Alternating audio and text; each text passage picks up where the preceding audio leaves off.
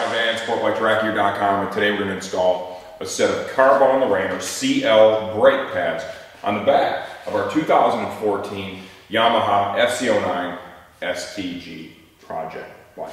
Okay, we got CL RX3 brake pads, perfect compound for the rear of this motorcycle. I'm going to show you what we would do to change these and help you decide if you want to do that yourself. Tools that we need basic hand tools. I got a screwdriver, right? I, I got a couple of sockets. I got a T-handle. I got some lube for the pivot points. We're also going to use some brake cleaner when we're all done. We're going to go ahead and we're going to bleed the brakes as well. Pretty simple procedure. Give yourself some time to do it to make sure that you get it all done properly the first time. Okay, we're going to open up by getting the caliper loose on the motorcycle. One of the things that I want to do, okay, is I want to clean the caliper piston before I push it back in the bore. I don't want any of that debris to get behind the actual dust seal for the caliper itself. So we're going to open up by loosening all the fasteners necessary to do this.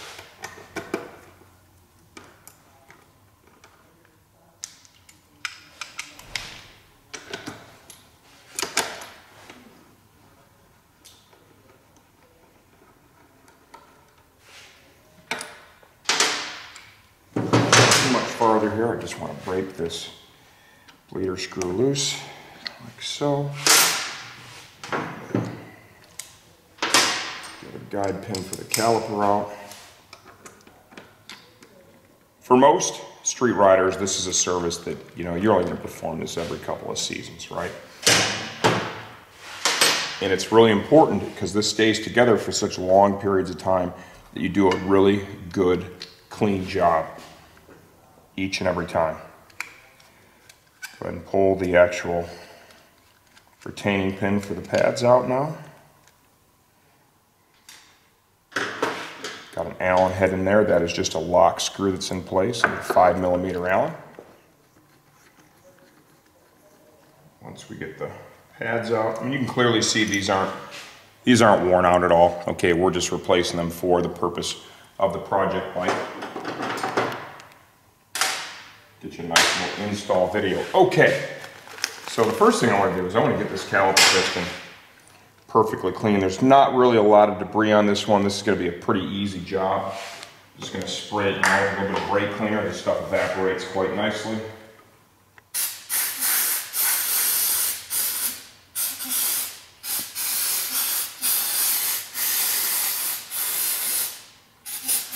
We're at it, kind of get that whole caliper nice and clean. I do have a toothbrush here ready in case we needed to actually scrub the piston. When we do the fronts, we'll probably have to utilize that. Okay, now, this cool speed bleeder bag and hose kit here.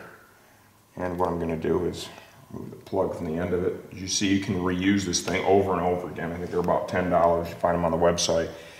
And it makes brake service so much easier and cleaner in the end. I already broke the screw loose previous.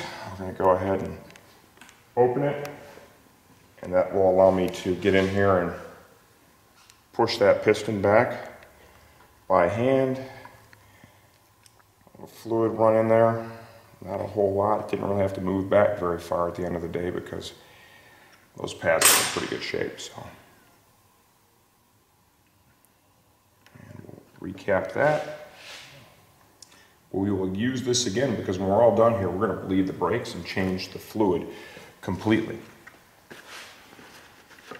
Okay, next step, there's two points that need to be lubricated. This is pretty important stuff here. Okay, so what we want to do is we want to slide the pin out like so, and we're going to put a little silicone lube in there. I like to use an old Phillips screwdriver that I'd actually modified the head of a little bit. Because what you want to do is you want to get just a good thin coating all inside the bore like that, right? You don't need to overdo it because if you overdo it, it's just going to push it all over the place. It's going to exhaust a bunch of it out when you put it together. Do that over here as well. Okay, that is ready to go. Go ahead and get our slide pin back in here.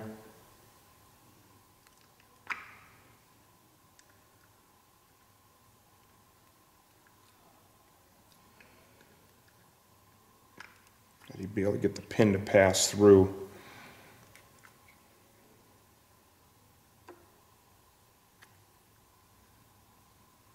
And there we go, like that.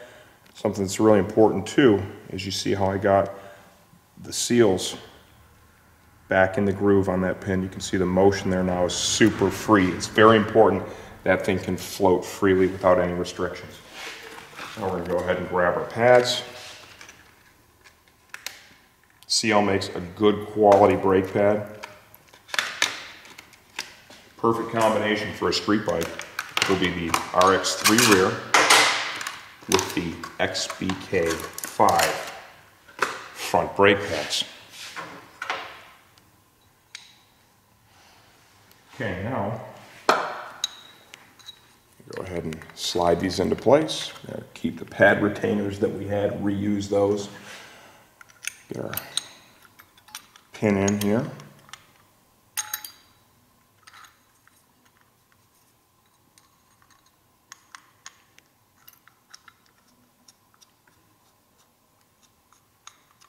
Get that started. We'll tighten all this up once it is back on the motorcycle and held securely. Okay. Make sure the pads are spread apart adequately.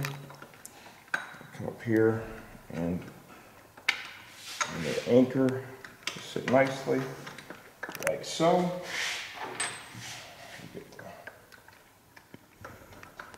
Slide pin retainer in place there.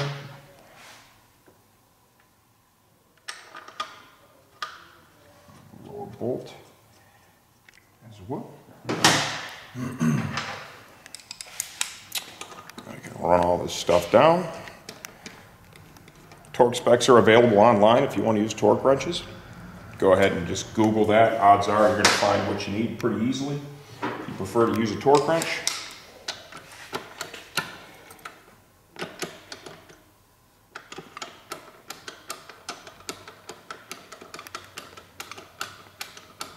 It's all nice and snug here. As always, I'm going to double check. Okay. And retaining pin for the pads. This set screw is nothing more than just a safety for that pad pin, okay? So that just gets tightened simply with that flat bladed screwdriver. Check your caliper. Look at how nicely that floats. You need that to float back and forth easily. We're gonna go ahead and pump the brakes up.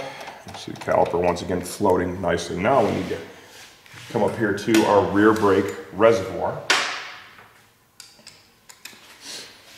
And loosen the mount. This is the only way we're going to be able to get the actual cap off because they have a safety on the top of that.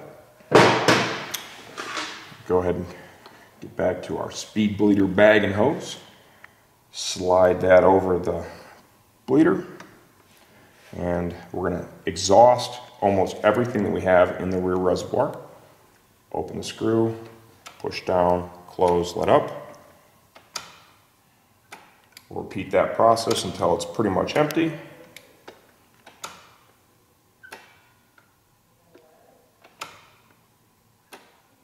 Spike is relatively new, doesn't have very many miles on it, so we will be able to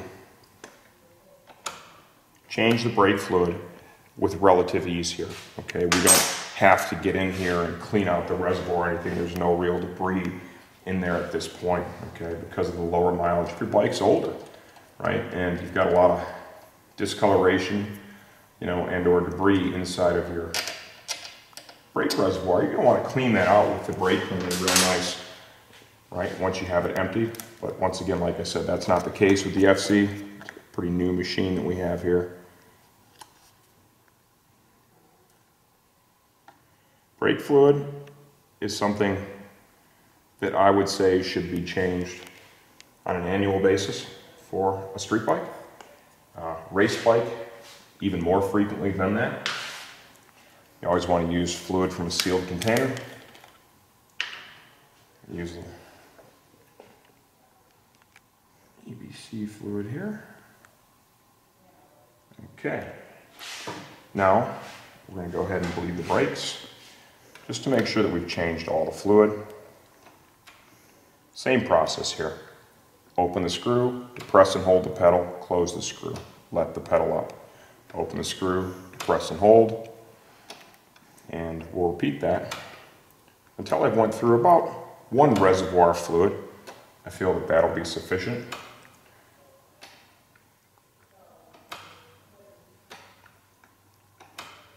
You can already see by the color of the fluid that's coming out.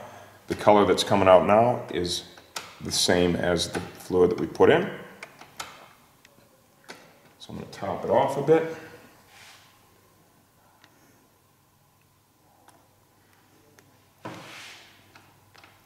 Got a perfect pedal.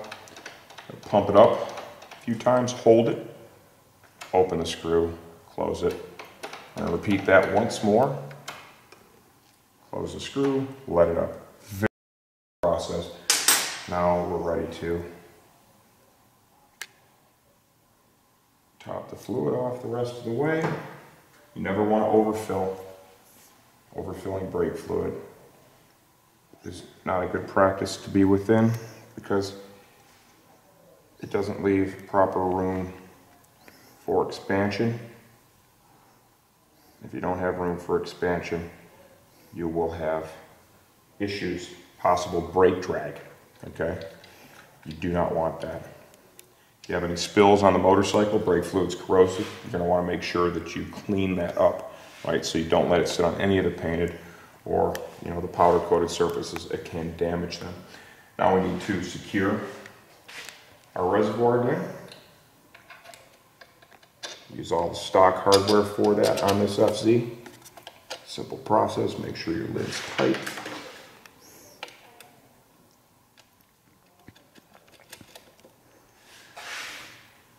To our Motion Pro T-handle.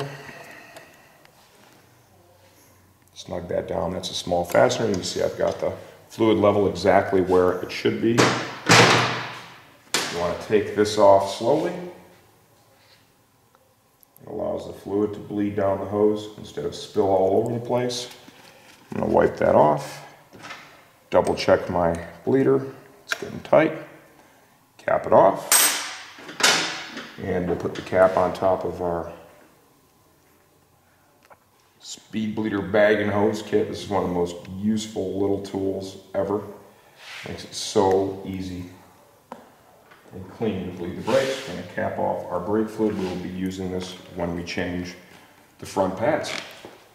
And there you have it. That's how we would change the rear brake pads on a 2014 Yamaha.